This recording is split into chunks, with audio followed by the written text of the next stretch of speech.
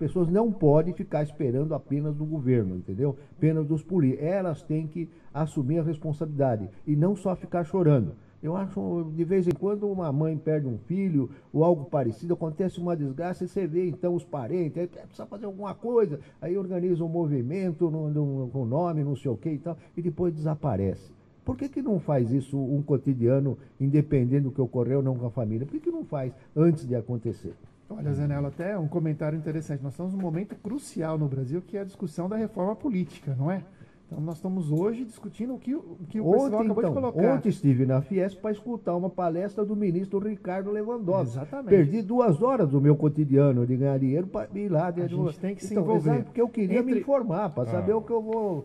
Que, que, que Entre, é. Dentre as possibilidades que nós temos hoje dessa reforma política, o voto distrital, por exemplo, é. que em questões regionais, como nós estamos discutindo aqui, é importantíssimo. Né? Se a gente pensar em termos de como a gente pode participar mais, com o voto distrital, que é uma das melhores propostas, na meu ver, na, na discussão, você vai poder ter consciência de quem é o seu representante. E você Vila Formosa vai saber quem procurar, não vai ficar. Exatamente. Não é isso? Tem quantos habitantes Vila Formosa? Olha, Vila Formosa, nós uh, estamos mais ou menos com 170 mil.